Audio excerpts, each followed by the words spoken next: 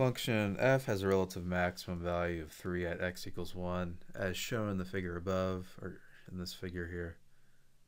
Actually, I should include this. And just forget about all this. Did not mean to do that. Um, forget about all this stuff up here.